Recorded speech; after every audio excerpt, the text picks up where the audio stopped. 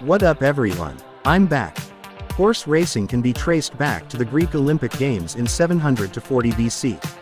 While horse racing is a cool sport to watch, today, I'm here to talk about how and when buglers became part of the races. In the end, we will meet the bugler from Yonkers Raceway.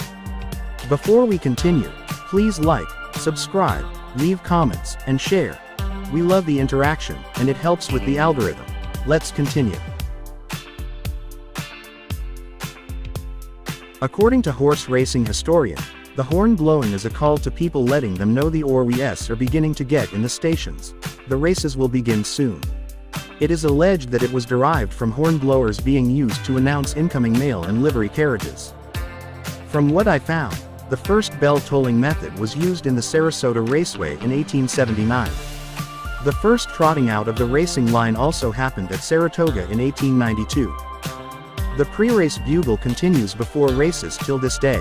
I did a brief interview with the bugle blower from Yonkers Raceway at Empire Casino. Let's see what he has to say. Uh, what's your name, sir? Justin Nurin. And uh, how long have you been doing the horn for the, the horn for the road horse races? Uh, eight years for the horse races, Right. um, but I've been a professional player for 15, 20 years. Oh, okay. I play regularly at Carnegie Hall. I Oh, play yeah? Preakness this year, so it's, it's a lot of fun. All right, sir. A genuine superstar we meet today, So, You guys, you seen that? Thanks. Thank you. Thanks to meet you, sir. Thanks. He is a musically trained buglist playing world-famous venues. Now you can see him introduce the races at Empire. He's a very cool guy that gave me the time of day thanks for that.